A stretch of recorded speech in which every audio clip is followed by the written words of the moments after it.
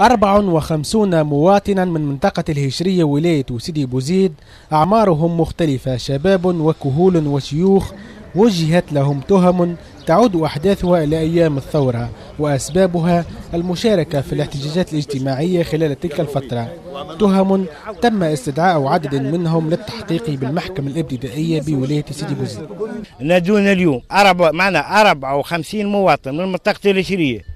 معناها بتهمة معناها آه نهب ممتلكات الخاصة لاستثمار رئيس منطقة الهجرية وذلك بإقحام 54 معناها مواطن. فيهم حتى العزايز المرأة اللي لابسة حولي عمرها 60 سنة كيفاش معناه راهو شيء معناه يفوت العقل.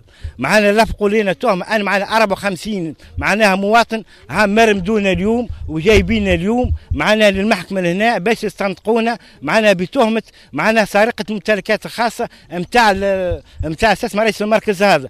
لا نحن الثورة علاش عملناها؟ عملناها على الظلم والاستبداد ولينا ماشي ندخلوا الحبس. ولينا سراق.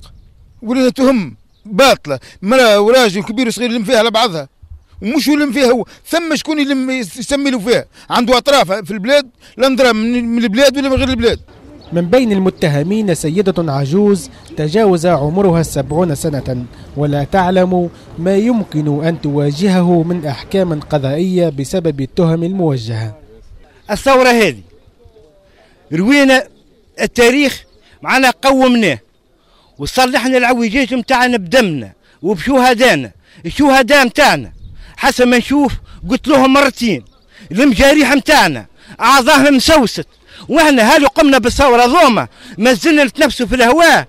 إذا يظهر له من راي خلي يزيد يدخلونا الحبس قال يقطعوا علينا بس جملة واحدة.